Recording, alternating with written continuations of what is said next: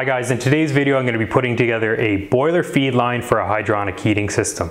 I'll bring you in a little bit closer so I can show you how I'm going to put it together and then at the end of the video I'll explain the function of each part. Alright, so the direction of flow is this way. We're going to start with an isolation valve, goes into a backflow preventer, onto our bypass, which bypasses the pressure reducing valve, isolation valve on each side, union to service, and then into a pressure gauge and another isolation valve. I'll explain the function and purpose of each of these fittings at the end of the video.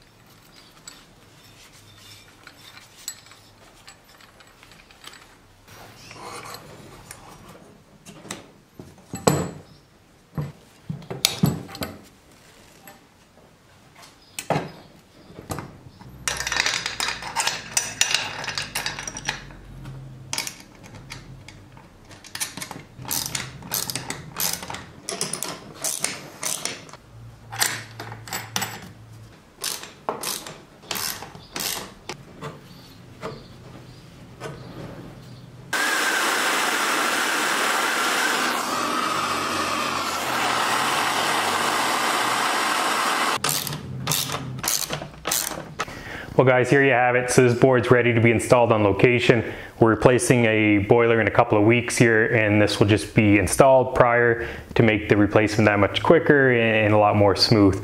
So we have our isolation valve. This will be your domestic water coming into the, the system or into the boiler.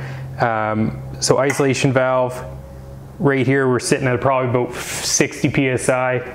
It goes to a backflow preventer. This stops any of the water from the boiler system to come back into the potable water. You do not want that to mix. So there's a check valve here, a relief port, another check valve, and if the pressure was ever to be exceeded on the boiler side higher than the domestic side, the check valve would stop that. If this check valve was to fail, the second check valve, it'll actually pour out of the bottom here as a safety device. If that's still to fail, there's another check valve here as well. Uh, very important device. This is a reduced pressure backflow preventer is what it's called. And you have to be certified to actually test these and put them into service. There's no union here to service this and that's actually law in our jurisdiction so that it deters anyone else from servicing these except someone that actually has their ticket.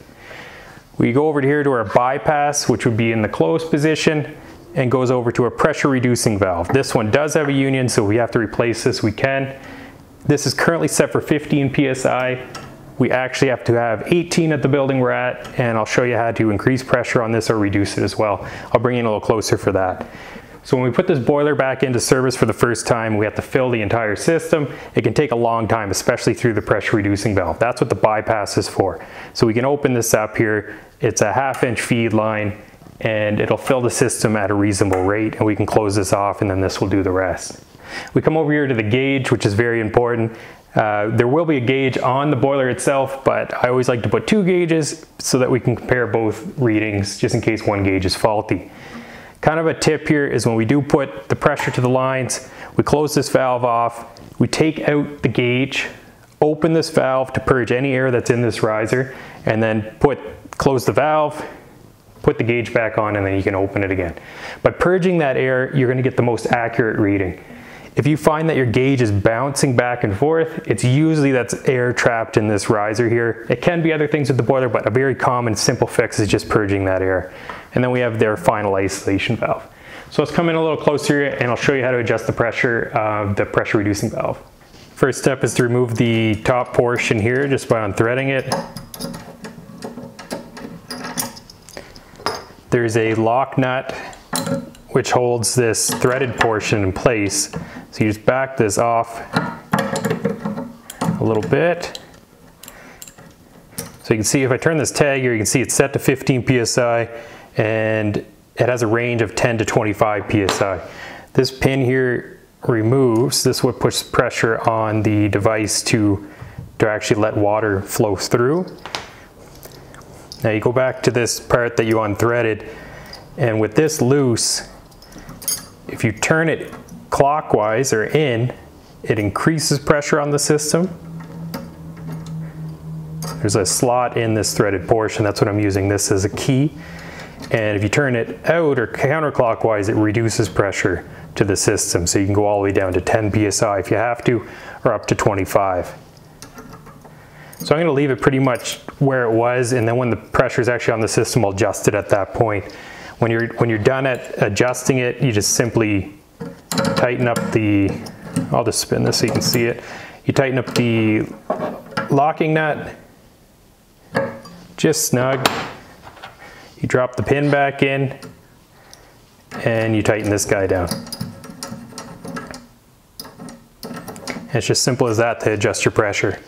Well guys, I hope this video was informative and like always, if this video helped you out, liking, commenting, subscribing is always greatly appreciated.